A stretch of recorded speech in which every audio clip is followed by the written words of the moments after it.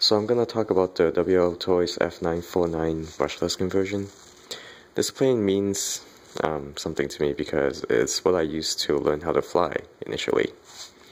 Um, it's a great learning plane in my opinion because um, it can pretty much put it up in the air and then if you get it high enough it will just float there um, and you don't have to use any throttle at all it can fly even in like a slight light breeze and then it'll just stay up there. It's a very relaxing flyer and it can fly for up to 20-30 minutes on a charge.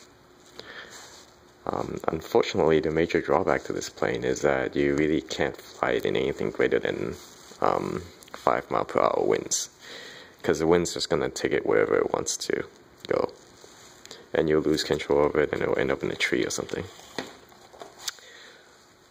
And the other drawback to this plane is that the brush motors um, in here only lasts for about 10 hours.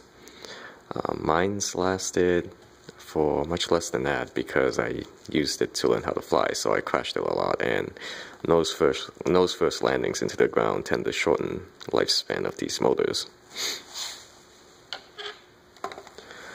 Um, so with that said, um, this is the original plane as you can see um, it comes with um, brake with servos on it and uh, brushed ESC and it's a tri motor configuration in there meaning there's three brush motors um, in a gearbox.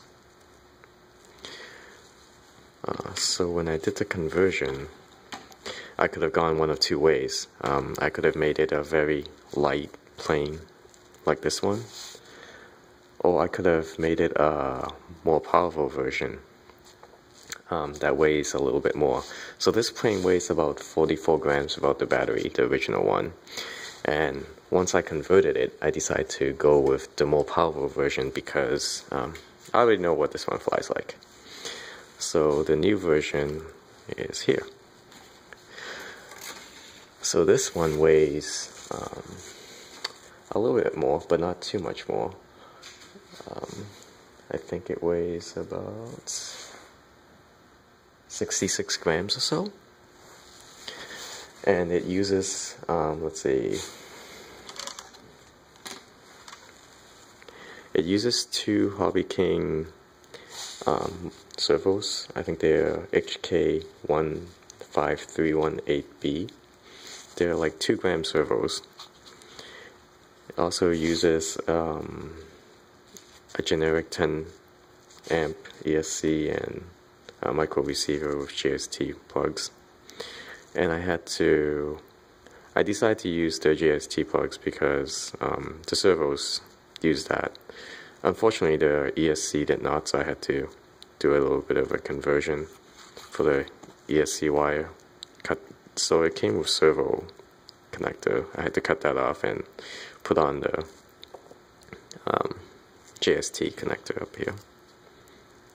And that's pretty much hot glued in here um, and then in front is a Racerstar motor um, BR1306 um, 3100 kV it may be a little bit too much for this light airplane but we'll find out soon enough. And the last thing I did was um, down here. After I did the conversion, I realized that the um, battery that I wanted to use did not have to, would affect the CG to make it a little bit too nose heavy. And I had to cut away, so this is the original one, this is the new one. I had to pretty much cut this section out and then reverse it and then glue it back in place. So this is what you see as a result. And with that, I can use pretty much any battery that I want. Um, I mean, given that it fits inside that bay. And um, we'll fly it and see how it flies. And actually, one thing I did forget to mention was the props. These are 50-30 props. Um, they might be a bit too big, I'm not sure. We'll have to fly it and see.